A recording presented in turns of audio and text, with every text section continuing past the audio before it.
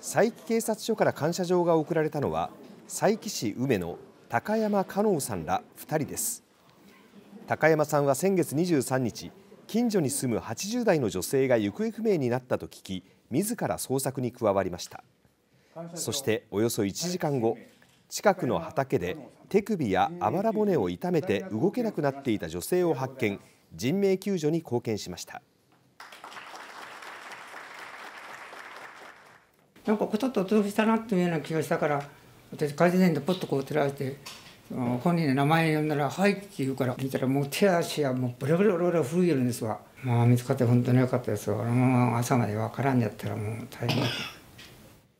また今月行方が分からなくなっていた近くの70代男性を発見した佐伯市蒲江の会社員後藤克一さんにも同じく感謝状が贈られました。